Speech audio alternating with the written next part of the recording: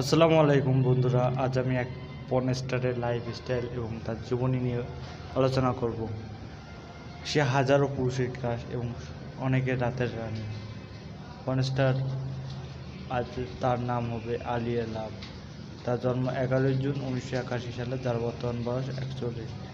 তিনি আমেরিকার নাগরিক, তার ফুল নেম জর্জিতা ব্যাল তার হাইট পাঁচ ফিট দুই ইঞ্চি এবং নাগরিকত্ব আমেরিকান। তিনি তার জীবনে এখনও অবিবাহিত। কিন্তু আমরা জানি সে পন ভিডিওতে তার জীবনী শেষ করে দিয়েছে।